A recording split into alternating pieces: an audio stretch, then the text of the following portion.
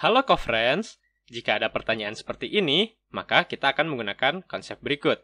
Nah, jadi kita harus menurunkan fungsi 3 dikali sin x ditambah 2 dikali cos x. Kita akan gunakan konsep berikut, yaitu yang pertama, jika ada fungsi yang dijumlahkan, yaitu fungsi u ditambah fungsi v, maka turunannya adalah u aksen ditambah v aksen. Jadi kita pertama bisa tulis dulu f aksen x-nya.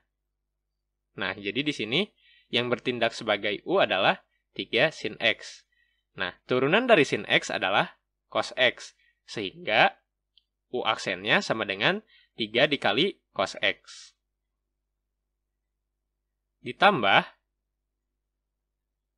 v aksen. Nah, yang ini bertindak sebagai u, maka ini bertindak sebagai v. v aksen berarti turunan dari cos.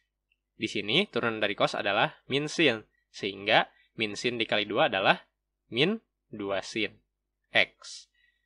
Nah, maka bentuknya adalah 3 cos x dikurangi 2 sin x. Yaitu ada pada pilihan yang C. Sampai berjumpa pada pertanyaan berikutnya.